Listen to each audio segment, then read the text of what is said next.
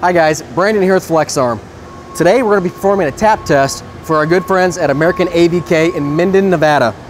We'll be performing the test with our GHM60 hydraulic tapping unit with up to 800 foot-pounds of torque, built-in flood coolant, and digital depth control.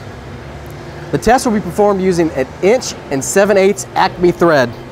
Acme threads were introduced prior to 1895 to replace square threads and a variety of threads for the purpose of producing traveling motions on machines, tools, and for heavy load work. Acme threads are most often used for lead screws, jack screws, CNC systems, and many other applications.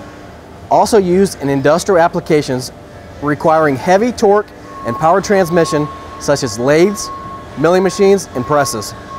Keys to note during this demo is we had to open up the hole to 49 millimeters, and again, we're also using flood coolant for proper chip evacuation. For more information on Acme threads, call us at 800 837 2503. Thanks a lot.